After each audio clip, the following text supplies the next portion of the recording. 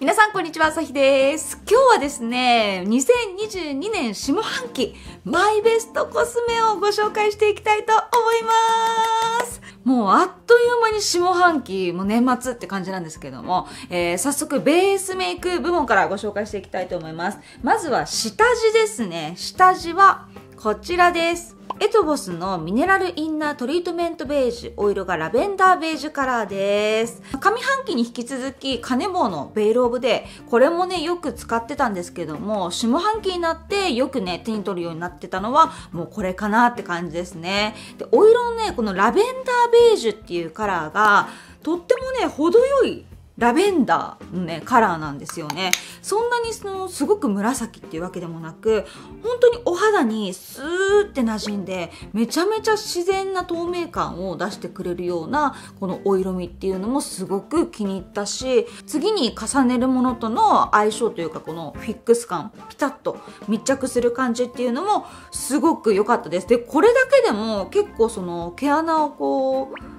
目立たないような感じにしてくれたりとかお肌のトーンを上げてくれるんですよね。気持ちねこのツヤっぽさっていうのもねこう残しつついてくれるし SPF も31の PA3 プラスだからまあ問題なくあの普段のメイクから取り入れることがねとっても多かったです。続いてファンデーションなんだけど下半期ってやっぱりこの暑い夏と今のちょっと乾燥する時期っていうのが入り乱ってるのでなかなかねこれっていうのが難しいんだけど最近またねこう乾燥してきて復活したなって思うのがこちらです。スックのグロークリームコンパクトお色が10番私は使っております。はいこれが中がこうエマルジョンタイプっていうかこういうねバーム状になっているあのファンデーションなんですね。で付属のパフにさっと取ってお肌にこうのせていくっていう感じなんですけども結構ねパーンってつく感じに最初は見えるの。でもそれをねさらにスースーとなじませたりポンポンポンポンってなじませていくともうほんと自分のお肌かのようにスルッとこう馴染んでというかお肌に溶け込んでくれる感じっていうのかな。そう。でツヤ感もねしっかりと出てくれてまさにこう生っぽい素肌感っていうのを表現してくれるなっていう風にね思いました。はい、そしてコンシーラーはもうずっと愛用しているこのね、ディオールスキンのフォーエバースキンコレクトコンシーラーっていうのがあるんだけど、今期で、えっ、と、新しく言うならば、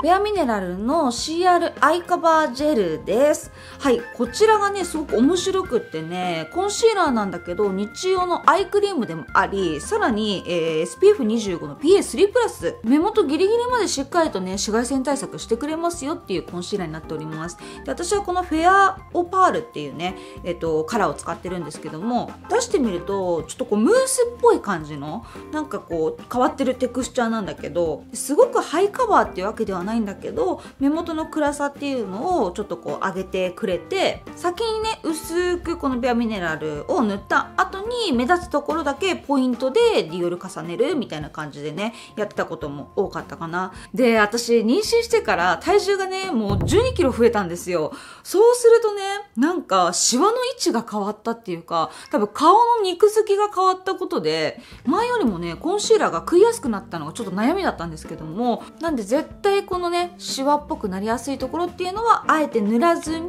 えっ、と、こちらの方でね、薄く仕上げるっていう感じで使っていました。はい、そしてパウダー部門はこちらですね。コスメデコルテ AQ オーラリフレクターの02番ライトミックスというカラーです。えー3種類ね、こちら種類あるんですけども、なんかまんべんなくいろんな色がこんな感じでね、入っている、えーコンパクトタイプのブレストパウダーになっております。ふわっと肌にまとう感じで、えーパウダーでセットすることができて、なおかつね、このいろんなカラーが入ってることで、ちょっとね、このお顔の明るさっていうのも出してくれる感じがあるし本当に粉がねすっごい細かいからそのファンデーションで仕上げた生き生き感っていうのもそこまでその崩すことなくしっかりとセットできる感じがありますね。付属でパフとブラシがついてるっていうのもまああのコスメデコルテ AQ ならではかなと思うんだけど、まあ、パフは中に入るんだけどブラシはね別で持って持たないといけないの、まあ、それがちょっと面倒さはね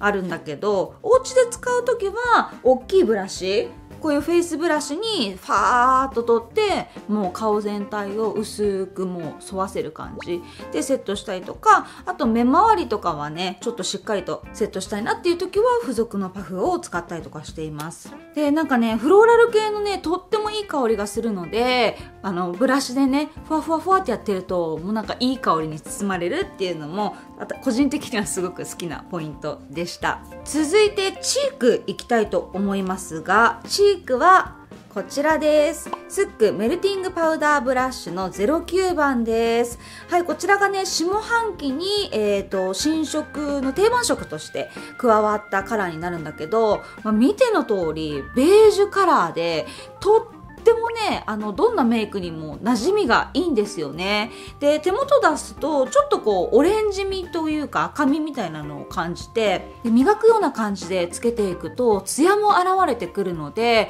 こうパンとこう張ったようなほっぺにねしてくれるしすごく自然な血色を足してくれるのでこれはねとても良かったです、うん、でスックのねこのパウダー薄いので持ち運びとかにも便利だしポーチの中でもかさばらないっていうのもとっても嬉しかったです。はいそしてハイライトはこちらでしたね。セザンヌのフェイスグローカラー01番のアプリコットグローです。はい、もうこれにはね、助けられまくりでございました。で、特にこっちのハイライトカラーね、もちもちっとしたテクスチャーのハイライトと、あとはブロンズというかチークカラーなんですけども、もう一時期ね、あの、店頭になくなってるぐらいね、人気だったと思うんですが、私も溺愛してこれはね、よく使っておりました。で、やっぱ指でね、簡単にトントントンって足せるっていうのがとっても便利だったので、目尻のね下の方にトントントンって指で乗せたりとかあとは鼻根とか鼻先とか顔のね中央の部分にちょんちょんちょんってのせたりとか。で塗った後もペトペト感もなくってさらっとしてるのでそこまでこう擦れとかにもつあの弱くない気がするし、まあ、鼻先とかはねちょっとあのマスクとかつけてると消えちゃう感じはあったかもしれないんだけども他のところはすごい綺麗に一日中ツヤンとしたお肌にね仕上げてくれておりましたね。でメインはこのハイライトカラー使ったけどもこっちのねえっとチークの方同じように指に取って塗るともう何にもねあのチークがない時はこれだけでもね十分綺麗に仕上がるし手軽にさっと使いやすいっていうところがねもう大満足の、えー、ハイライトでございました。続いて、えっ、ー、と、アイブロウ部門行きましょうか。セザンヌの極細アイブロウマスカラ C1 番のピンクブラウンです。はい、これがね、本当に塗りやすかったそうで、先がこんなにね、細いスクリーンになっていて、ほんと一塗りでもしっかりと発色してくれるし、あと硬くならないしっていうので、もう長いことずっと使っているデジャビューの、えっ、ー、と、アイブロウマスカラとこう並ぶぐらい、本当にプチプラなのに超優秀な、えー、アイブロマスカラかなっていうふうに思いますね。で特にね、私はこのピンクブラウンっていうカラーを使ってたんだけど、まあ、ピンクと言っても、そこまでその、パキッとしたピンクでもないので、私みたいなね、髪色の人でも特にそんなに変じゃないでしょ今日使ってるんだけどさ。違和感なくこう使えるし、目元に明るさとか抜け感も出してくれたりとかするので、そう、これはなんか今後いろんな色出ないかなってね、ちょっと願いながらいる感じでございますね。続いてアイメイクいきますね。アイシャドウは、エナモルのニュアンスカラーアイズ01番のウォルナットブラウンカラーです。はい、中がこんな感じのね、お色で、えっ、と、ブラシとかは特についてないミラー付きのね、アイシャドウになるんですけれども、こちらがね、えっ、と、YouTube もやっている、かじえりちゃんがプロデュースしているブランドでして、秋ぐらいに限定で発売されたね、こちらのダスティテラコッタっていうカラーを送っていただいたんですよね。で、これもすっごいめちゃめちゃ使ってたんだけども、定番色であるこのね、01番のウォルナットブラウン、これも超使いやすかった。もう見ての通り使いやすさがもう炸裂してると思うんだけども、ちゃんとハイライトカラーと締め色と、で、あと2色ね、その中間色みたいなのが入っていて、ほんとテクニックいらずで順番にするって塗っていけば、綺麗なグラデーションのね、こう、ニュートラルなブラウンアイができるんだけど、発色もとってもいいですし、程よく細かい、えっ、ー、と、パールが入っております。私はよくねハイライトカラーと下の2色をこう重ねてってね目元を作ることが多かったんだけどももう1色入ってるこちらこれが若干こう黄身感があるのでちょっと黄身寄りのメイクをする時はこれをねふんわりと足すっていう感じで使ったりとかうまくね、調整しながら使ってました。あとすごくコンパクトでしょ？そう、私ポーチにコンパクトに収まってくれるっていうね、あの、サイズ感っていうのがやっぱ好きなんだろうね。ちょっとこのぐらいのサクッと塗れるっていうね、このサイズ感っていうのもとてもとても良かったです。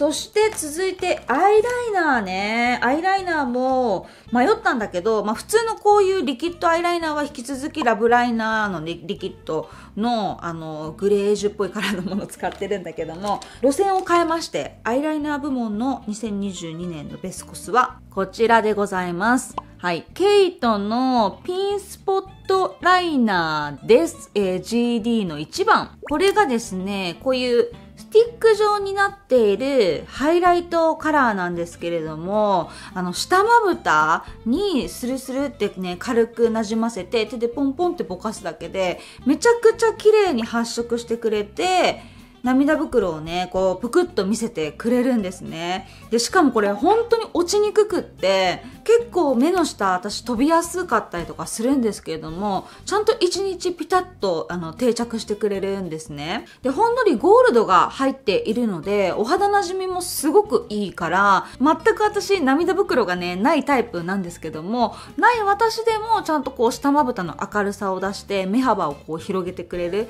で、瞳をちょっとこうキラキラと綺麗にに見せてくれる感じがとっても好きでした。これはね、なくなったら私すぐ買っちゃうんじゃないかな。あとはね、またね、ちょっと私のトレンドが復活いたしました。こちら。資生堂のビューラーです。ここ数年はずっとアイプチの一重奥舞台用のね、ビューラーを使ってたんですけども、全然それも大好きなんだけど、ちょっとね、あの気分を変えて、また資生堂のね、このずっと昔から持っているこれを使ったところ、あ、やっぱめちゃくちゃいいなって思って、うん、最近はこれをよく使ってます。まあ私の目のアーチにぴったりなので、目尻、目頭の、あの、まつげまでしっかりと挟んでくれるし、まあ、ゴムの部分取り替えちゃえばもう本当年季が入ってるものとは思えないぐらいしっかりとまつげをねキリッと上げてくれます。で、えっ、ー、と、資生堂のビューラーとともに一緒に使っていたのが、こちらですね。セザンヌの耐久カールマスカラ01番のブラックです。はい、もうこれは大好きだった。もうブラック以外もブラウンも全部使ってましたけど、もう耐久マスカラっていう通り、全く落ちることのない、カールが落ちることのないピタッとフィックスされた、えー、まつげをね、作ってくれます。そして、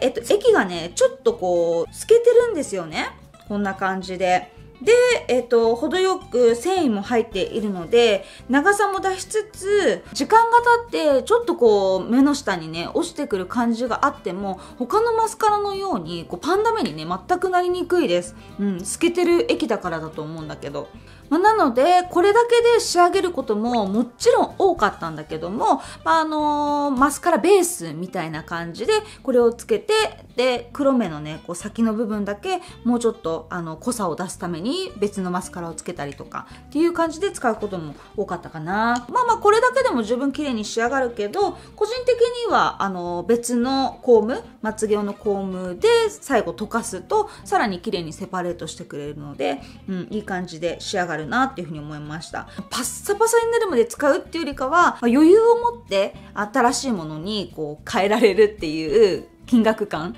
っていうのもすごく嬉しいなと思っております。ということで最後、リップですが、リップも本当に超迷ったんだけど、よく使メルシエのペタルソフトリップスティッククレヨン。お色が303番です。はい、このクレヨンタイプのね、繰り出し式のリップっていうのがめちゃくちゃ使いやすかった。この薄いヌーディーなパッケージっていうのも、あの、カバンの中でも結構目立つんですよね。そう、なんで、パッとこれをね、そのまんまカバンの中に入れておいて、ちょっとリップをこう足したいっていう時に、さっと取って、もう鏡なしで、うーん、って塗って、あとはうんぱんぱしたり、ちょっと伸ばしたりっていう感じで、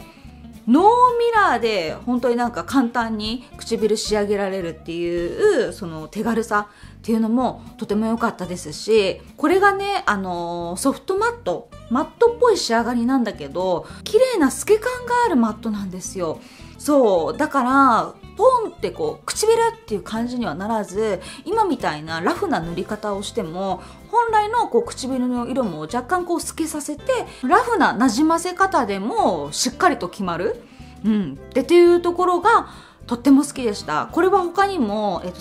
全部で4色持ってるんですけども、もうまんべんなく使ってた中でも、この303番っていうのが、若干このブラウンっぽさもあるレッドカラー。うん。なので、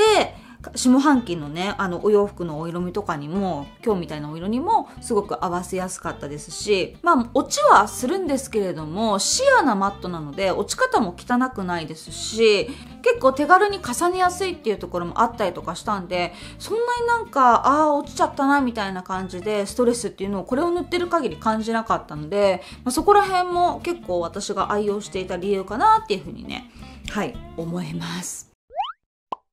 っていう感じが2022年下半期の私のベストコスメでございました。